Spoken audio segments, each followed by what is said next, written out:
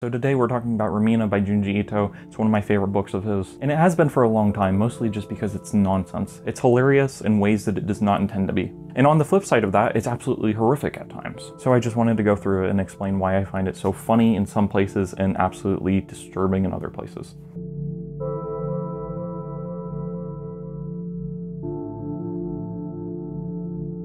So Remina starts off with a really powerful image of a girl tied to a cross which if you're going to start off a story, um, that's a good way to do it. It immediately piques the interest of the reader because it's like, what? So the story takes place in July 20XX. So when it says July 20XX, that could mean 2024, that could mean 2025, that could mean 2026. We're stopping the joke here. But then you get a flashback to the previous year. So could mean 2023, could mean 2024, depending on if it takes place in 2025, could mean 2025. If so basically, there's this professor. He has a daughter. He has discovered a planet that has come out of a wormhole. And he explains what a wormhole is for the reader who doesn't know what a wormhole is. And the professor decides to name the planet that came out of the wormhole Remina after his daughter. Which you go, oh, that's very sweet, that's very nice, but um, we'll see how that works out for her. And this is where we are introduced to Remina, the girl, not the planet. Remina is one of those characters who um, she doesn't really have much of a character besides being like a pretty girl, being like kind of nice. Because really, she's someone who is acted upon as opposed to someone who acts. So it's kind of lame, I think, to make your main character someone who just doesn't do anything, but um, whatever. But anyways, everyone thinks that she's so beautiful. She just kind of looks like the stock Junji Ito woman character. Because Junji Ito draws about three or four faces. And I mean, that's kind of a thing for a lot of artists where they just kind of draw the same face. And that's fine. But everyone is really hyped up because they're calling this planet Remina. And the girl who the planet is named after is like super hot. So that's a win-win. And then Remina's boyfriend convinces her to go into show business. Um, and it's kind of unclear what exactly that means, show business. There's a part where she's on a stage in front of 30,000 people. So it kind of looks like they're doing a play based off of her. Um, so I guess that plays have come back into fashion, like Shakespeare's time, which that's cool, that's cool, I like it. But the whole world's in love with Remina. Remina's pop power beauty, that's out of this world. Everyone loves Remina, she's so cute and beautiful. Like I said, this is her one character trait, is that she's pretty. And this is really the part where I first started laughing. Basically, Remina is this big star now, but she doesn't really care about it. But her boyfriend tells her some great news, which is that she's going to be on a TV commercial. TV commercial for a construction company. And I just found this to be absolutely hilarious because when was the last time you saw a huge pop star do a commercial for a construction company? Imagine if you saw a commercial and it was like, Kesha is now the new face of Lockheed Martin. and then they, they adapt her song. So it's like, tick tock on the clock when the bombs don't drop and no, oh, oh, oh, oh, oh, oh, oh. oh. Britney Spears is now the face of the US Marine Corps. Lady Gaga is the face of Home Depot. I think Lady Gaga would actually make more sense for like a dentist's office, you know, because she has poker face. So I feel like you could work that into like a teeth commercial. You guys ever see that dental commercial where they used Dante from the DMC reboot as uh, as like a teeth model because the game did so poorly that Ninja Theory had to like sell off assets and so that's where Dante ended up. I think about that every now and then and I'm just like what a world, what a world we live in. But anyways, Remina, she's kind of scared of getting bigger, she's kind of scared of becoming more popular which is actually something that I very much resonate with. So anyways, Remina has dinner with the head of the construction company who has a son who is in love with her and is very creepy and weird. Which by the way, every man in the book is like completely in love with Remina because again, she's like beautiful. So even if she don't have any notable character traits, she's she's pretty. She's easy on the eyes, it says. I mean, she looks kind of normal to me, so I don't I'm not that attracted to her honestly. But uh, whatever. I'm not a Junji Ito character. I think. I think. Um, maybe. The son of the construction company's head shows her the secret bomb shelter. He tells her that if anything goes wrong, there's enough room for his family and for her. Which, by the way, I do that anytime I meet a girl for the first time. I just take her to my weird, creepy bomb shelter and say, There's enough space for you, baby. So then we cut back to the professor, to Remina's father, who shows up at the lab and he's like, Hey, what's up? And then there's another scientist there who recognizes that Remina's pattern it's, it's Remina's transit across the sky is all screwy and weird. Basically, Remina is approaching Earth, and then the guy starts laughing like the Joker and has a mental breakdown because that's what happens whenever anything weird happens. I don't know, I'm kind of tired of that trope because I, I can't really recall ever seeing that in real life where just someone has had a huge breakdown and then they just start laughing maniacally, but maybe maybe that happens. I don't know. So it's coming to us. He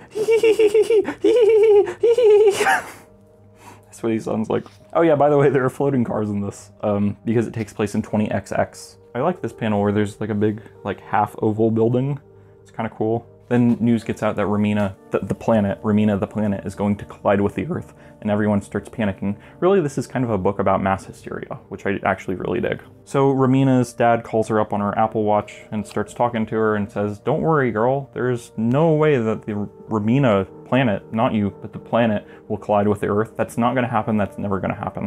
Which, by the way, I feel like anytime anyone says something like, this will never happen, don't worry, this isn't going to happen, this will never happen in a million years. That just makes me worry more. That just makes me feel like you're not telling me the truth, but I don't know. Maybe that's just me. Maybe I've just read one too many weird horror stories, but who knows?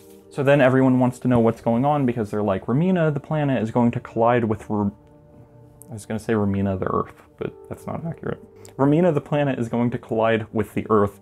So, Remina, the girl, tell us what you think. Everyone wants to know what she thinks, like she knows something. But then, anyways, it's her birthday, and so they throw her a big birthday party, and so she has an official fan club, and there's this guy with the mustache. Goda is his name. So, anyways, the mustache man brings her flowers and says, I'll love you forever. And then the head of the construction company's son comes and he brings her even more flowers, and then he's like, I actually love you. Everyone loves her, but then the thing is that like she already has a boyfriend. So you just have all these guys who are like confessing their love and they're kind of just ignoring the fact that like she's already taken. So the fan club head and the construction company head's son are both fighting over Remina basically. And then someone throws an egg and it hits Remina. And then everyone gets mad and they're like, who threw an egg at Remina? And then her boyfriend's like, don't worry, Remina, no one meant to throw an egg at you. It was definitely meant to go at one of the guys who was fighting over you. But my question is, I'm like, where did they get the egg from? Because it's a party and this is like an uncracked egg. It's not like a deviled egg, it's just like a regular egg. And so I'm like, who the heck is carrying eggs in their pockets? I mean, tomatoes, sure, but like eggs? I don't know, eggs are fragile, they crack, which is the point. So, anyways, Remina is still wet with the egg yolk whenever a news report comes in. The news report says that Remina the planet, has reached the solar system and it is destroying all the planets. This just in, we have confirmed that Pluto, Neptune, and Uranus have been annihilated. So, anyways, all the people are freaking out and they're like, oh, we're doomed, Remina's coming. And somehow they were able to record in 4K this really cool video of Saturn exploding, which I kind of dig. And then down here on page 32, there's a woman screaming and she just looks like Soichi's mom from the Uzumaki manga. I don't know if it's the same face, we're gonna compare. But yeah, everyone starts freaking out because they're like, this planet's gonna come and destroy us, and then the government's like, don't worry, go to your homes. And again, I feel like if the government tells you not to worry, I feel like that's only gonna cause more worrying. But then there's one dude, some nameless character, who comes up with a great theory, which is that the professor and his daughter Remina are calling the planet Remina to Earth. They're like summoning it, like some kind of devil or something. I don't know. And then people start freaking out, they start rioting, they're going crazy. Again, like I said, this is a book about mass hysteria. But then somehow everyone hears about this one dude's theory that the planet Remina is being summoned by the professor and his daughter, and so everyone then at that point just decides to kill Remina. Everyone's like, hey, let's murder Remina, let's get rid of her. That way the planet will stop being called here. And I'm like, makes sense to me. And so then the group, I guess I'll call them the squad, the gang, the fam, the Remina club, Remina's posse, they all escape. They fly in this dude's little flying car. And then they see the crowd, and the crowd is holding up crosses because they're gonna crucify Remina and her dad. and I don't know, it's just, it's hilarious to me that, like, you want to kill someone, and so your first instinct is to start building crucifixes. And it's like, guys, come on, it's the year 20XX. We don't crucify people at this point. But maybe it's come back into fashion. I don't know. So then astronauts go to investigate Remina, and there's this giant eye, there's this giant tongue that Remina has. Remina the planet, not the girl. I don't know about the girl's tongue. It may be average, it may be large, who knows? Maybe she doesn't have a tongue because she barely speaks, so that would make some degree of sense. But anyways, all the astronauts die because the, the planet Remina is alive and um, it sucks. It's not safe. It's not habitable. And then there's this guy on the news and he explains what's happening and then he's hit over the head with a lead pipe, it looks like. And then these dudes who look like Pyramid Head or the KKK or something, anyways, they pop up. They look kind of like the enemies from Dusk also. But anyways, they have these pointed hoods and they're like, oh, we have to kill Remina. And these guys start sharing that one dude's theory, you know, that one guy in the crowd. These guys are like, if we kill Remina, everything will go back to normal and everything will be fine. So then Remina starts crying and then the guys start fighting about who will keep her safe because they're all jealous of each other because they all love Remina. And then the crowd finds Remina, Remina the girl, and they burst into her room and they start trying to kill her and her friends. And I mean, they do kill like one nerdy guy who shows up all of a sudden in chapter two, who's the assistant vice president of the fan club. the assistant, the, the vice president of the fan club, assistant to the vice president, the assistant to the president of the fan club. Anyways, uh, this guy gets shot, but no one cares. Don't come to question all that you've known. Remember, not alone. I will be here, standing beside you. There is no mountain too tall to overcome. We will be But then the astronauts who went to Remina were able to send back some footage of what Remina, Remina the planet, they were able to send back some footage of what Remina the planet looks like. It's kind of bad. Kind of looks like the eclipse, the Berserk eclipse. I don't know. There's, there's a real beauty in it, in a sense. There's a beauty in darkness, I think. So um, I kind of like it. I would set this as my desktop background, not gonna lie. But then the restaurants are like, hey, check this out. There are people waving at us. And then the footage cuts out. So you don't really know what's happening on Remina the planet. Meanwhile, Remina the girl is still being chased down and hunted.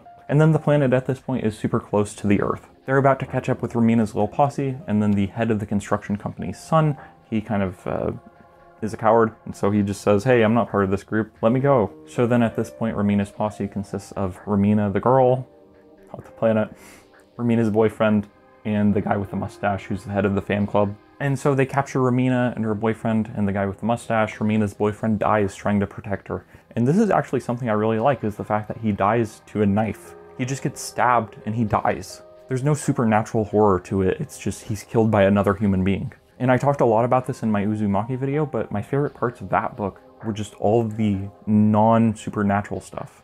My favorite things about Uzumaki were the things that were really twisted but could happen in real life. And so this is one of them. The crowd is going crazy because they think that killing Remina will stop the destruction of the earth, and so they just end up killing her boyfriend as collateral damage. And so I really like that. And Remina starts freaking out because her boyfriend's dying, and then the guy with the mustache starts getting jealous. Like he thought he was her number one for some reason, but he has an ugly mustache, so like, you know, he's like a 4 out of 10 at best.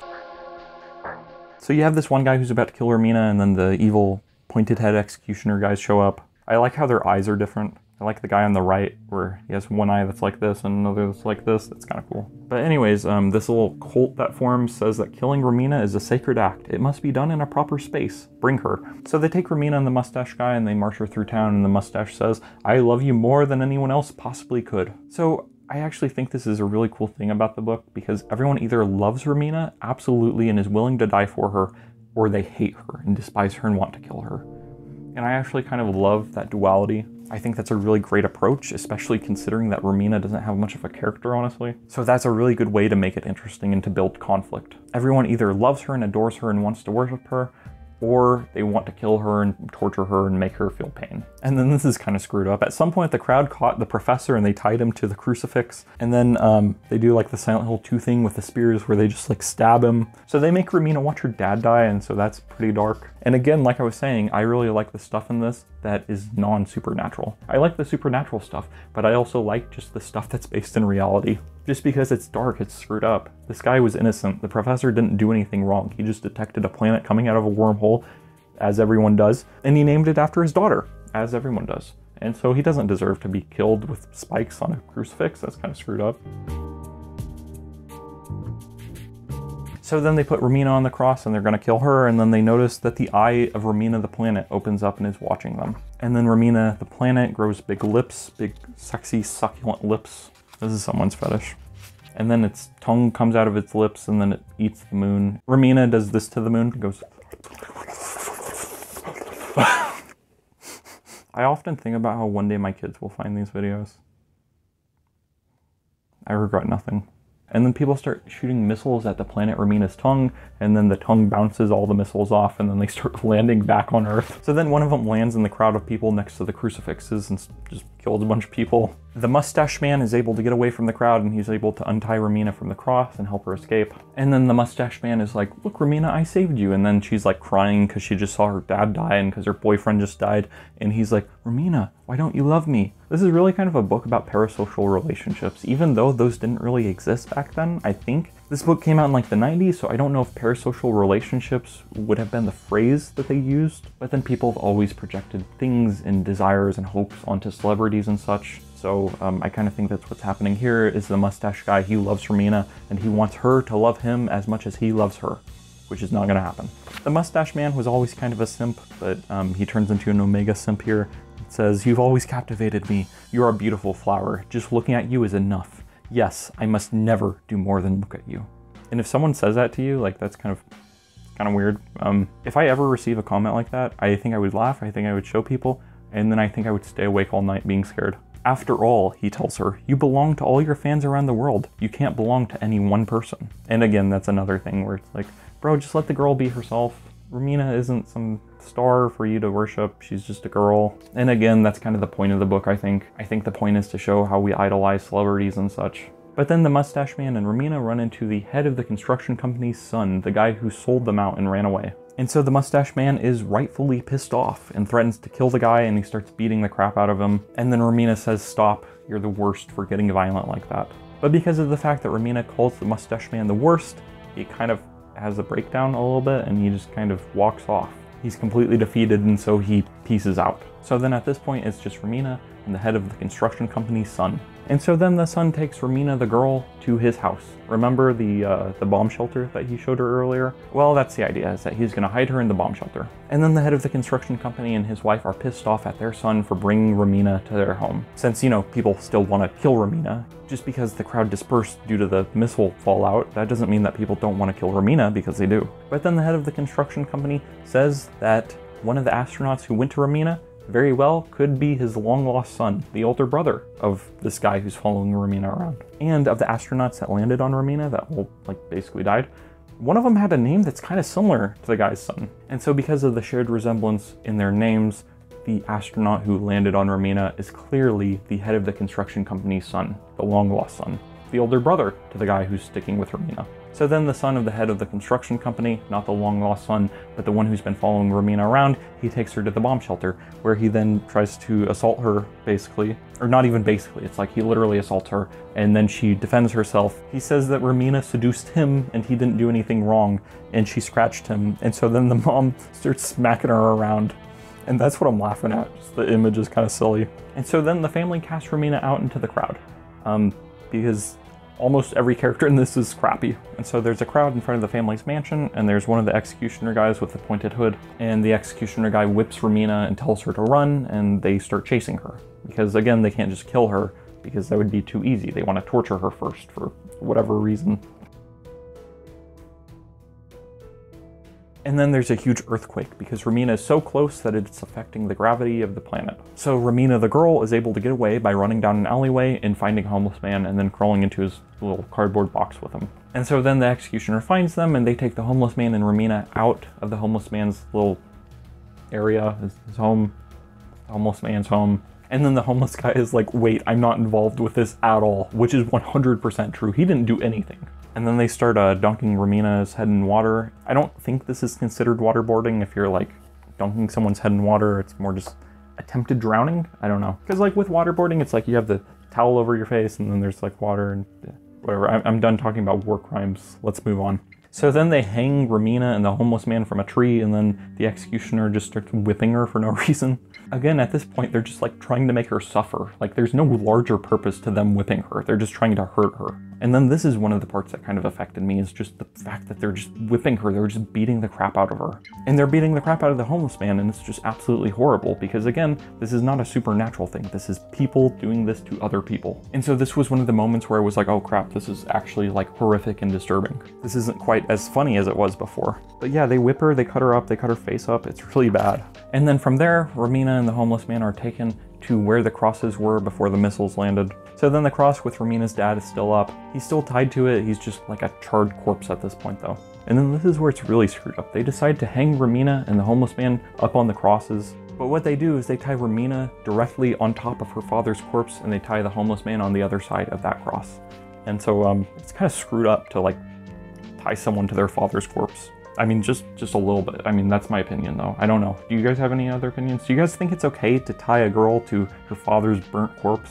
I mean, I don't know. I feel like it's not, but I don't know, times are changing, so who really knows. But then the tongue of Remina the planet comes down from the sky and starts licking the Earth. And so what happens then is the Earth begins to spin. And so at this point, there's only one executioner guy really, and he hops on top of Remina, and then his giant disgusting tongue comes out from underneath his mask and starts licking her. Again, this is someone's fetish. I mean, this is not even like a normal looking tongue. This is just like a, a big tentacle tongue that this executioner guy has. It's kind of a, it's kind of kind of hot. It kind of makes me want to go. Kind of makes me want to go. So, anyways, Remina the planet, using its tongue, starts licking the earth and it causes it to spin. It causes a tsunami and a bunch of storms. So then the crucifix goes flying through the air. And then we cut to the construction company family. You know, the guys who kicked Remina out. And um, they're just on this giant rocket ship with like the prime minister of Japan and stuff because they're gonna go and land on Remina the planet. Again, like I said, the construction company head believes that one of the astronauts is his long lost son, and so they're gonna go see him, I guess. Meanwhile, Remina is still tied to her father's corpse, and the homeless man is still on the other side of the cross. So at this point, Remina has licked the earth, and so it's spinning, and so that means that gravity is all kind of weird. So the executioner jumps down from the cross, he grabs a knife, he cuts Remina off, and he just plops her over his shoulder, and then he bounces. And so from here, because the gravity is screwed up, the executioner is able to jump with Remina up on top of a building, and then he's able to start slamming her around on the side of a building, and he's able to spin her through the air. And it's just kind of absurd. It's just kind of silly. He's like literally spinning her with one arm. And so I don't know. It's just, it's hard to take seriously. But you know, the homeless man, he could easily peace out. He could easily just run away and be like, hey, this girl caused me a bunch of suffering. But no, no, he's a good, virtuous guy. And so he goes and he saves her. He's able to fight the executioner off of her. And then he takes her and then he bounces around the world with her. And so at this point, they land in a giant crevice caused by Remina, the planet's tongue. And so the wind is very strong there. And so it's able to just push them across the world. So the homeless man carrying Remina takes her across the world, and behind them there's a huge group of people who are still trying to kill Remina. Even though the earth is already like spinning and is screwed up and, and whatever else, they're still trying to kill Remina because what else are you gonna do when the world's ending, I guess? So then we cut back to the construction company's family and the prime minister, everyone who has landed by now on planet Remina. And there's some really dope art here. I actually love this. I love all the shots of the planet Remina. It's just very strange, it's very Lovecraftian, and I think that Junji Ito did a great job with the art in this one. So then um, the construction company's family, they're all crappy people, and they're like, hey, is it safe to breathe in the air here? It's like a reddish purple gas. And so then the head of the construction company is like, oh, I have a great idea. Some people got injured whenever we landed here on the planet Remina. We're just gonna take off one of their helmets and see if they die. And then, um, yeah, they take off the helmet of this guy and then he immediately dies and his face immediately melts. Um, it's kind of, it's kind of screwed up to die like that. And then the head of the construction company and his family and the prime minister and everyone else, they realize that Remina really is a demon planet. It's hell, they say. And I think it's probably just a bad idea all around to, to try to land on, on planets that are coming to consume the Earth. But um, I guess you just do the best you can in a situation like that. Because it's like, hey, the Earth is getting destroyed, but you know, this planet is also horrible. So it's kind of a lose-lose. But anyways, uh, Remina the planet just ends up kind of devouring all the astronauts who landed on its surface. It just kind of eats everyone and destroys them all. And then Remina the planet licks the Earth one more time and it causes the world to stop spinning. And then all these people who were in the air freaking fall down and die. And they're just all dead. And, and I actually kind of really like that detail. It's really gross and really dark, but I, I dig it. I'm a big fan of it. But the homeless man and Remina are still alive. They're still prevailing. And Remina for like the last like one or two hundred pages has just kind of been crying because you know her dad died and her boyfriend died and so she hasn't done anything the whole freaking book. Literally it's just the homeless man trying to save her. So then he and Remina stumble upon a group of other people and the homeless man is like, hey guys, come along, come with us. And then the homeless man goes to the head of the construction company's house. And the homeless man is trying to get into the head of the construction company's house. And then all of a sudden the executioner shows up once more for a final time and he just starts whipping Remina. He just starts beating the crap out of her. And then the executioner accidentally takes his own hood off of his head, and it's revealed hey, the executioner, this guy is the mustache guy. Remember him? The mustache guy, the head of the fan club? Anyways, um, Remina rejected him, and so now he wants to make her suffer, and he's a scumbag. Surprise, surprise, people who are celebrity obsessed probably don't have the most stable personalities. Who would have thought? But, anyways, um, so this guy's crazy, and then he gets kicked off and um, dies, I guess. And so from here, the homeless man is able to get into the bomb shelter, the one that the uh, the, the kid assaulted Remina in. and everyone gets in there, and then Remina devours the Earth, and then the bomb shelter just gets launched into space. And there's some really cool art here. I really love the depiction of Remina devouring the Earth. It's really just kind of gross and scary. and so Remina, the homeless man, and their new random friends are all safe. They're all floating through space. And then it's revealed that, um, you know how the head of the construction company, he thought that the astronaut who landed on Remina was his son? Nope. It was the homeless man. The homeless man was the guy's son all along. And so that's how he knew about the bomb shelter. And it was just a, a genius stroke of luck that Remina happened to stumble upon him. And then the homeless man reveals that the bomb shelter only has enough necessities to last one year. So essentially, they have one year out in space. The homeless man tells everyone the real tough times are just beginning. Outside's the endless void of space, and the shelter's only good for a year. But you never know, he says, there may be another miracle in that year. Ha ha ha ha ha ha ha ha ha. So then everyone celebrates and they're all like, woo, we're floating through space. And then Remina just kind of stares and then she's watching the Earth fade away. And um, she's sad about her dad still, which, I mean, come on, he died like 200 pages ago. So, like, Get over your dead dad, Remina. So Remina is still butthurt about her dad dying and about her boyfriend dying, and she's like, but yeah, the book kind of ends on a downer note, which is that Remina and her little posse are able to escape the Earth, but they might die in space, and um, that that's it for them. That's it for them. I think this is one of Junji Ito's more interesting stories just because of the human element. So much of the story is driven by people. It's driven by individuals who are trying to make other individuals suffer. So much of the plot is driven by people who don't really know what's going on and they're just trying their best to figure it out. And I think this story has a lot of unintentionally comedic moments and just a lot of stuff that, that made me laugh really hard. But then also there are a lot of things about it that are, are legitimately horrific and disturbing and, and dark and um, would probably happen if this book happened in real life. I talked about this idea in my humor and horror video, but I think that in any horror work, there has to be an up and a down. I think that you have to have moments that are very, very scary and make the work legitimately a horror piece. And then I think that you also need moments of calmness and peace and even humor. You need something that can release the tension a little bit, which will then allow you to build it back up and allow more scares to happen further down the line. And so I think that the comedy in this, uh, I, like I said, I don't think it's intended.